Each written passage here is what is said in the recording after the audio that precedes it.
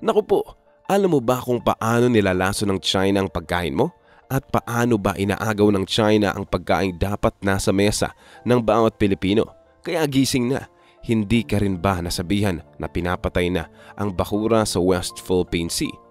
Halina't alamin kung sino nga ba ang dapat sisihin sa pagkasira ng dagat na sariling atin. Ang illegal na pangisda, lalo na ng mga Chino sa West Philippine Sea, ay nagdudulot ng malaking pinsala sa ating karagatan. Ang mga Chino ay gumagamit ng mga mapangawasak na pamamaraan ng pangisda tulad ng cyanide at dynamite fishing na sumisira sa mga coral reefs at marine life.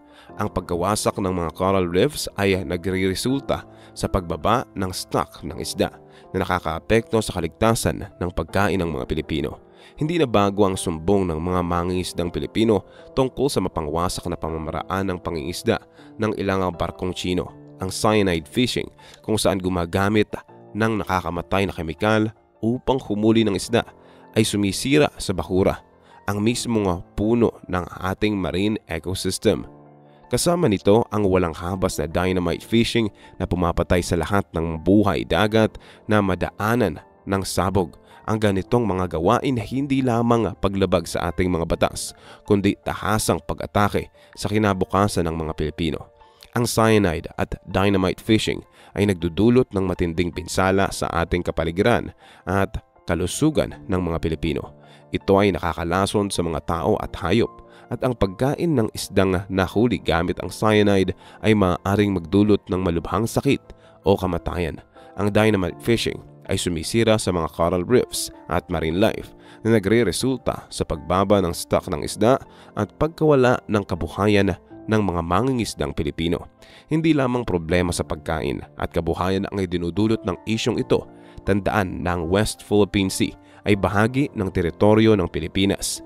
Ang agresibong presensya ng mga mangingisdang Chino sa lugar na ito ay may tuturing na isang uri ng panghihimasok sa kabila ng desisyon ng International Court na nagsasabing walang basihan ang pag-aangkin ng China sa malaking bahagi ng West Philippine Sea na nanatili silang matigas ang ulo. Nagpapadala sila ng mga barkong pangisda at maging ng kanilang Coast Guard upang manatili sa lugar at tabuyin ang mga mangisdang Pilipino. Ano ang direktang ginagawa ng gobyerno ng Pilipinas para protektahan ang mga karapatan ng mga Pilipinong mangisda at siguruhin na hindi tuluyang masigisira ang ating karagatan bukod sa pagpapadala ng diplomatic protests sa China ano ang konkretong plano ng pamahalaan upang mapalayas ang mga barkong Chino sa ating exclusive economic zone? Mayroon bang strategiya ng pagpapalakas ng ating Philippine Coast Guard at Philippine Navy? Malinaw sa ating batas ang limitasyon ng pangisda sa ating teritoryo Paano natin ito mas mahigpit na may papatupad? Hindi matatapos ang usapin sa simpleng pagbatiko sa China. Kailangan din nating pagtuunan ng pansin ang kahandaan at kapasidad ng Pilipinas na harapin ang mga hamong ito kailangan magkaroon ng malawakang kampanya ng pamahalaan upang turuan ang mamamayang Pilipino tungkol sa issue ng West Philippine Sea.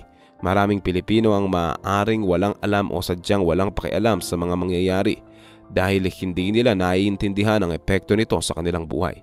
Kailangang maintindihan ng mga Pilipino na hindi lamang ito usaping tungkol sa mga isla na malayo sa kanila.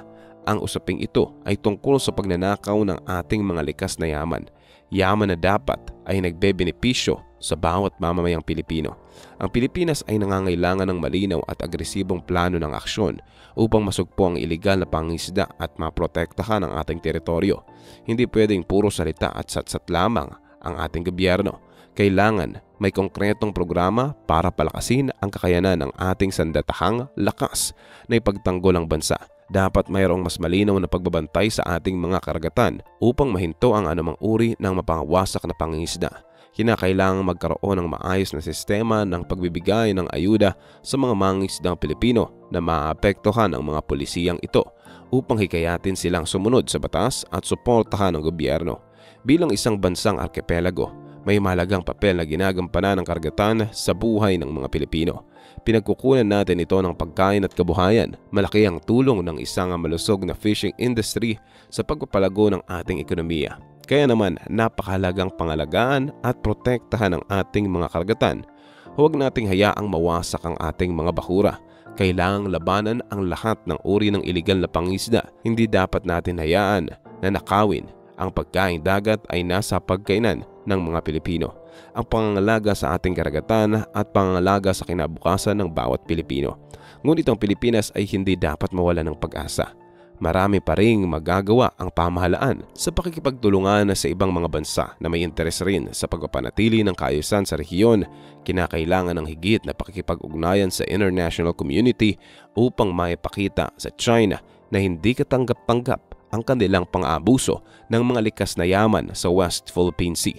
Mayroon nang umiiral ng mga international na kasunduan tulad ng UNCLOS o United Nations Convention on the Law of the Sea na dapat bigyan ng mas maraming ngipin upang protektahan ang mga karagatan.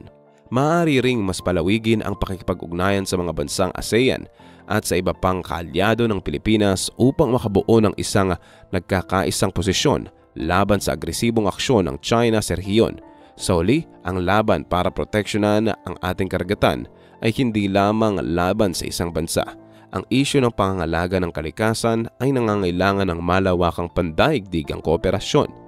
Ang mga bansang mayroong manulad na teknolohiya tulad ng Estados Unidos at Japan ay maaaring magbahagi ng kanilang kaalaman at magbigay ng tulong sa Pilipinas sa pagbabantay sa ating mga karagatan. Mahalaga ring makipagtulungan sa mga international environment groups na may karanasan sa pagsubaybay sa mga aktibidad na maaaring makasira sa kalikasan ang pag-aaral at dokumentasyon ng pinsalang nagagawa ng cyanide at dynamite fishing ay napakahalaga upang makabuo ng epektibong polisiya at programa para sa pangangalaga ng ating kapaligiran.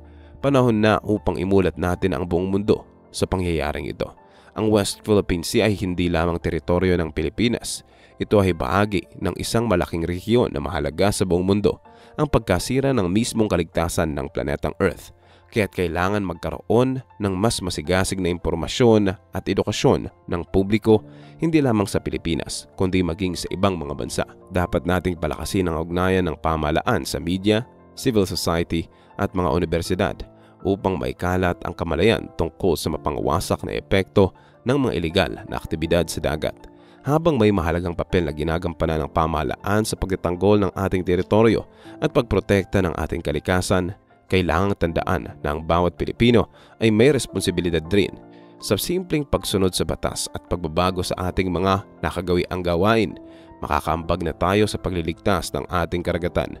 Huwag nating tangkalikin ang mga produktong nahuli gamit ang iligal na pamamaraan kapag namimili sa palengke, maging maingat sa pagpili ng isda at iba pang lamang dagat. Siguraduhin sariwa ang mga ito at hindi amoy kemikal. Alamin natin kung saan ang gagaling ang ibinebentang isda at tumangging bumili kung ito'y pinanghihinala ang produkto ng dynamite o cyanide fishing. Bukod sa tamang pagpili ng produktong dagat, kailangan din nating bawasan ang polusyon na ating nililika Napakahalagang iwasan ang pagtatapon ng basura sa mga ilog, estero at dagat dahil kapag nadumihan ang ating tubig, nagkakaroon ito ng negatibong epekto sa buhay ng mga isda at iba pang marine organisms. Ang simpleng pagtatapon ng plastic, lata, bote o upos ng sigarilyo sa tamang lalagyan ay isang malaking tulong na upang mabawasan ang polusyon na humahantong sa karagatan.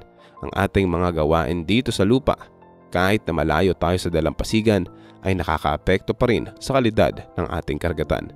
Mahalaga rin na mapanatili ang malinis at malusog na coastal areas.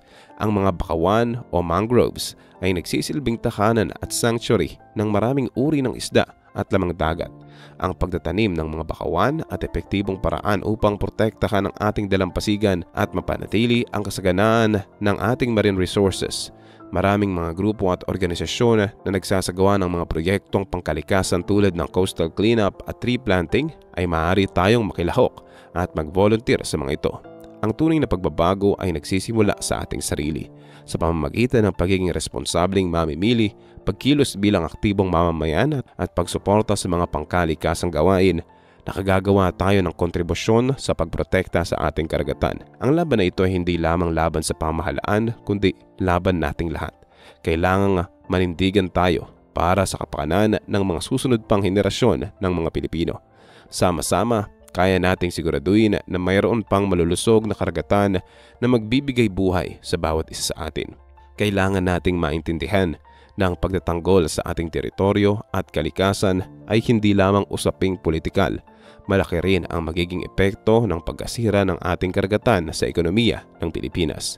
Ang mga mangingisda ay mawawala ng kabuhayan. Ang mga industriyang umaasa sa yamang dagat tulad ng turismo at food processing ay babagsak.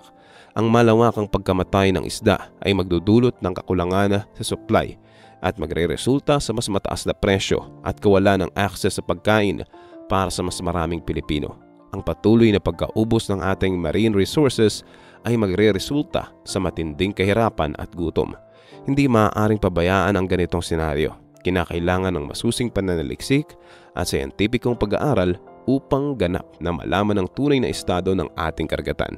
Kailangan nating malaman na ang lawak ng pinsala ng cyanide at dynamite fishing ano na ang epekto nito sa dami ng nahuhuli nating isda? May mga lugar na ba sa ating karagatan na may tuturing ng dead zones dahil sa sobrang polusyon? Kailangan magtulungan ng pamahalaan at ang mga institusyong pang-akademiko upang masagot ang mahalagang tanong na ito. Ang mga impormasyong makakalap sa mga pagsasaliksik na ito ay magiging batayan ng pagbuo ng mga epektibong programa upang sagipin ang ating mga karagatan. Sa uli, hindi natin maiaasa sa mga politiko ang pagkilos ng mag-isa para resolbahin ang problemang ito. Ang mamamayang Pilipino ay kailangang umalam, makinig at kumilos. Mahalaga ang informed public opinion, ang matalinong boses ng mga taong nakakaunawa sa sitwasyon. Ito ang magiging puwersang susuporta at magtutulak sa pamahalaan upang bumuo ng mas agresibo at komprehensibong plano. Huwag tayong manahimik Suportahan natin ang mga mangisdang Pilipino na lumalaban para sa kanilang karapatang mangisda ng panatag sa ating karagatan at kumita ng marangal. Hindi natin maaaring hayaang mawalan sila ng pag-asa. Kailangang manindigan tayo para sa kanila at para sa ating sariling kinabukasan.